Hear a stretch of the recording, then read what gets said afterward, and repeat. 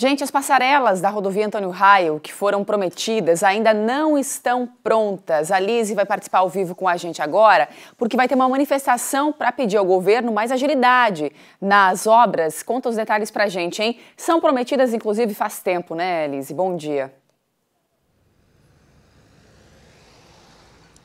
É, Vanessa, olha, bom dia. Nós estamos na rodovia Antônio Raio, que liga Itajaí a Brusque, e por aqui as obras elas não estão paradas. Em alguns pontos estão até bem adiantadas, mas seguem no ritmo lento. Algumas áreas falta finalização, como por exemplo, é, perto do viaduto do polo é, de petróleo aqui no trecho de Itajaí, com relação às três passarelas que você falou, previstas no contrato e que por conta da demora foram alvo de denúncia no Ministério Público, estas sim estão bem atrasadas. O prazo na ação movida contra o Estado era dezembro do ano passado, mas até agora nenhuma passarela foi entregue. Esse processo ainda corre na justiça. O Estado ele está construindo apenas uma dessas, que é essa aqui, ó, que fica na entrada do Colégio Vandelino Robolt, na Itaipava, em Itajaí. E no fim do ano passado teve uma reunião entre as prefeituras de Brusque e Itajaí e o governo do estado.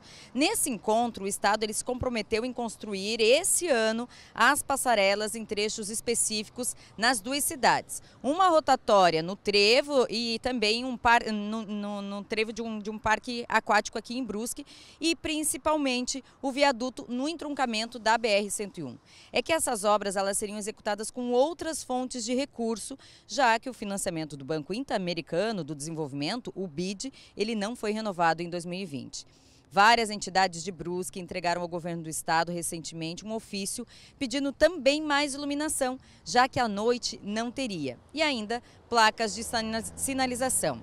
Como você anunciou aí, Vanessa, na próxima sexta-feira, dia 14, às 10 horas da manhã, está prevista uma manifestação com fechamento parcial da rodovia para chamar a atenção do governo estadual com relação às obras. O primeiro prazo para conclusão era 2017, depois passou para 30 de setembro de 2019 mas até agora nada. E o que a gente percebe por aqui são as pessoas atravessando essa rodovia de intenso movimento, é, arriscando suas vidas para acessar serviços como a escola, como saúde ou mesmo o trabalho e enfrentam todos os dias os perigos aqui dessa via rápida porque as passarelas prometidas ainda não foram entregues à comunidade, à população aqui dessas duas regiões, né, de Itajaí e Brusque.